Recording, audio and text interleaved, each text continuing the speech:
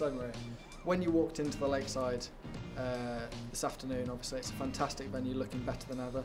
What were your what were your feelings, and what does Lakeside mean to you? Um, first year last year. Um, totally blown away by it last year. Um, didn't play to my potential.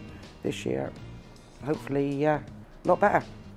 And do you think maybe that experience from last year, you won't be as overall this year, and you can you can play your best darts? Yeah, I'm, I'm, the, I'm playing really well at the moment, so anything's uh, anything's an improvement.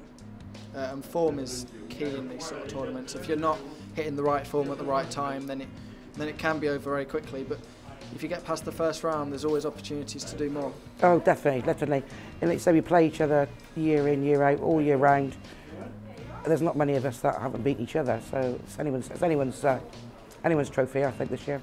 And I think all the players will be confident that they can they can really do it because, as you say, they they've beaten everybody's beaten each other. So I mean, everybody will be confident, won't they?